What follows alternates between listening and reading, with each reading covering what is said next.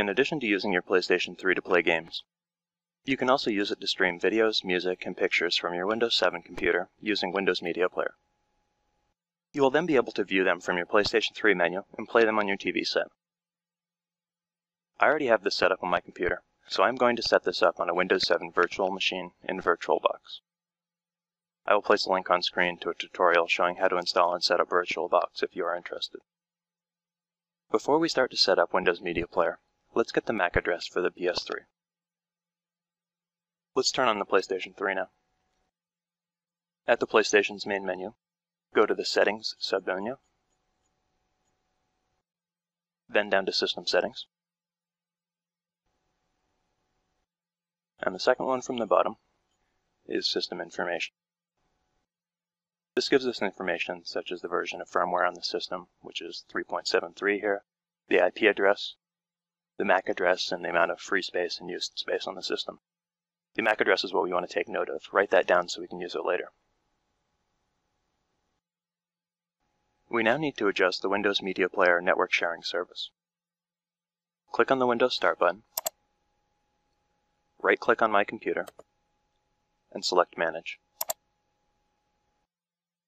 Click on Services and Applications to expand it, and then click on Services. To be able to see the full names, if you double-click in between the two columns, it will automatically size it to the longest entry in the list.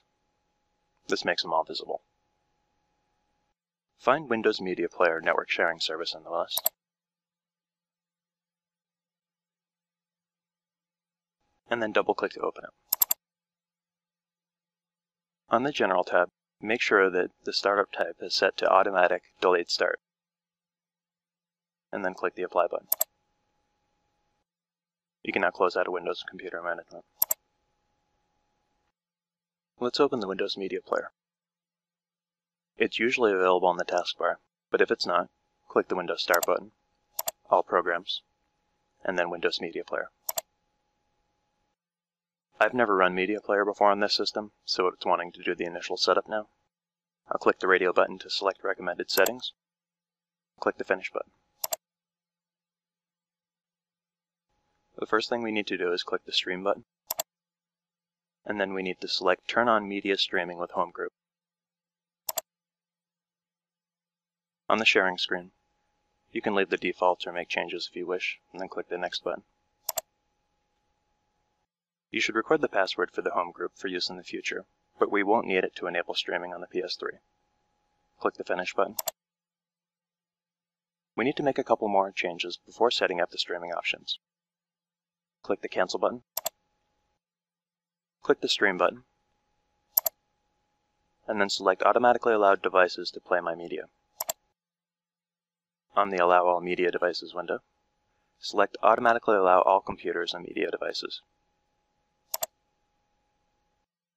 Now the automatically allow devices to play my media is essential to be able to play media on the PlayStation. Click the Windows Start button, Control Panel, Network and Internet, Network and Sharing Center. Click the Change Advanced Sharing Settings link. There will be separate options here for home or work, as well as public. Make sure home or work is expanded. Under Network Discovery, make sure that Turn on Network Discovery is selected. Under File and Printer Sharing, make sure Turn on File and Printer Sharing is selected. Under Public Folder Sharing, Make sure that Turn on Sharing so anybody with network access can read and write files in the public folders is selected. Scroll down to the Media Streaming and click the link to choose Media Streaming options. Click the drop-down next to Show Devices On and change it from Local Network to All Networks. Now look in the list and find any devices labeled Unknown Device. Here we can see I just have one. We need to double check and make sure this unknown device is actually my PlayStation. Let's double click on it. And reviewing the MAC address here, I can see that that is my PlayStation. Now if we had devices listed here that we didn't want to allow access, we could change the drop-down from Allow to Blocked. These devices here are all mine and are all allowed access. As long as the PlayStation device shows allowed, click the OK button. Now if you had made any changes here, click the Save Changes button. After saving the changes, close out of the Advanced Sharing Settings window. We are now going to tell Windows Media Center the location we store our videos, music, and pictures. If Media Player is not already open, click the Windows Start button, All Programs, and then select Windows Media Player. Click the Organize button, Manage Libraries, and then we'll select Videos. The Videos Library Locations window will open. Under Library Locations, it will list the current directories and locations being indexed by Windows Media Center. Here we can see the Videos folder in my user's home folder, as well as the Videos folder in the public folder.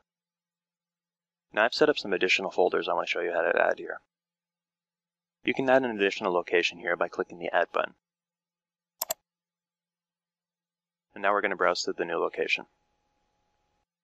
I have a PS3 share on my C drive. In there I have a music, pictures, and video folder. I'm going to select the videos folder, then click the include folder button. We can now see the new video folder showing up in the list. Click the OK button. Now that we've set up the additional videos folder, we can now go through and select the folders we want to use for the music and pictures.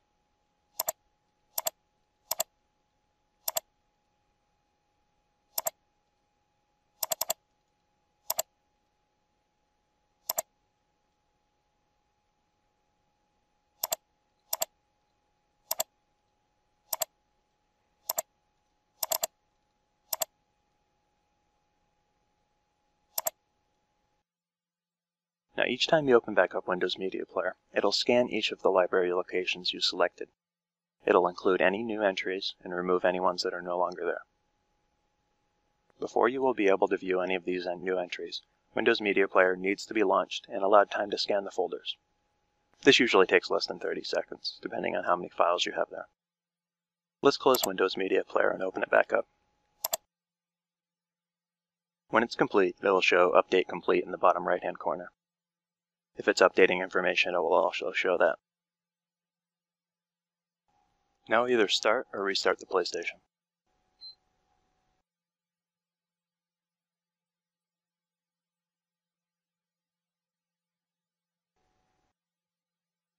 At the PlayStation's main menu, let's change to the Video submenu.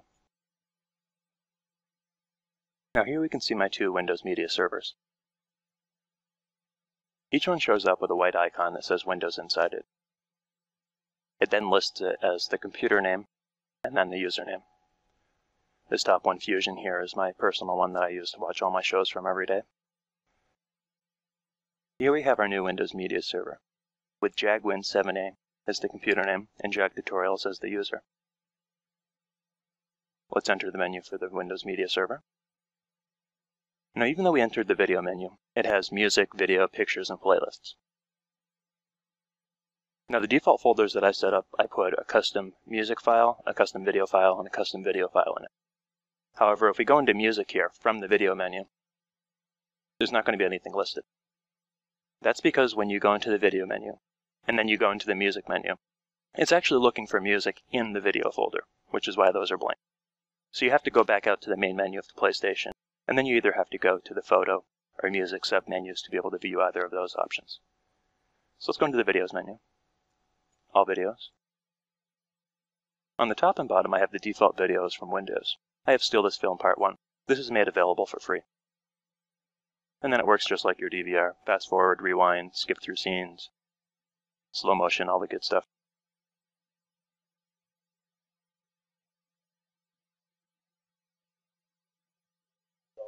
Into the servers. Everything was still live, so I took it back up. Okay, let's back out of this. Right out to the menu, we'll go over to music instead of video. Go into our new server again, music, all music. And again, at the bottom, we have three files that are included with Windows by default. I also, in our custom folder, included this Nine Inch Nails song, Discipline, from their album The Slip. that was made available to download for free from their website. And again, here you have all the same normal controls that you usually would. The last thing we're going to do is back out to the main menu, go into Photo, then our media server, Pictures, All Pictures. Again, we have a ton of files that are included with Windows by default. Here we have our custom file. So now if you use R1 and R2, you can search through the files. If you get to one that's on the side like this, you can use R2 and L2 to be able to adjust it.